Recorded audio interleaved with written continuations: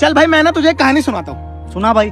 एक बार ना केकड़ा समुद्र के किनारे चल रहा होता है और बार बार ना अपने पैरों के निशान देखकर खुश हो रहा होता है। इतने में एक लहर आती है और उसके सारे पैरों को निशान भाकर ले जाती है। भाई फिर?